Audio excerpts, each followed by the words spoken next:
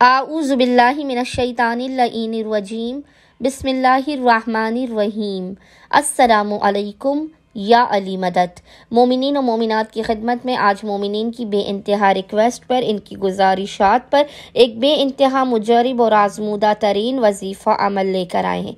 ये मुजरब और आजमूदा तरीन वजीफ़ा अमल आपके घर से, आपकी ज़िंदगी से, आपके कारोबार से, हर किस्म की बंदिश को खोल देगा।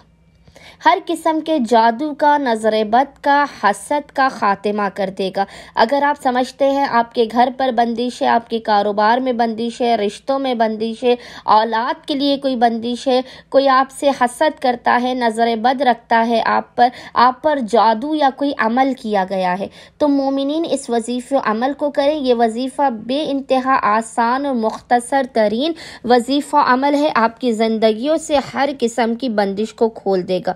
जब बंदिश दूर होगी तो आपके रिस्क रोज़ी में भी बरकत होगी, आपका कारोबार भी चलेगा, बेहतरीन रिश्ते भी आएँगे, घर में सकून और इतमान भी होगा। हर किस्म के लड़ाई, झगड़ों, फसादात और जहनी तनाव से आपको राहत मिलेगी। अमल करने के लिए मोमिन ने करना यह है कि आपने तीन अगरबत्तियाँ लेनी है। याद रखिएगा, आपने तीन अगरबत्तियाँ लेनी है और उन तीनों अगरबत्तियों पर आपने सात सात मरतबा, सेवन सेवन टाइम्स सूरह फलक और सूरह नास को पढ़ना है। तीनों अगरबत्तियों पर आपने सात सात मरतबा सेवन सेवन टाइम्स सूरह फलक और सूरह नास को पढ़ लेना है। पढ़ने के बाद आपने रोज़ाना तीन दिनों तक, याद रखिएगा, रोज़ाना तीन दिनों तक आपने एक अगरबत्ती जलानी है। पहले दिन आपने एक अगरबत्ती जलाई, फिर दूसरे दिन आपने दूसरी और तीसरे दिन आपने तीसरी अगरबत्ती जलानी है और अगरबत्ती जलानी है आपने वक्त मगरबैन से कुछ देर पहले, ज़्यादा से ज़्यादा पंद्रह बीस मिनट पहले और उस अगरबत्ती की धुनी को अपने घर में, आपने अपने घर में हर कोने पर आपने उस अगरबत्ती की धुनी को देना है।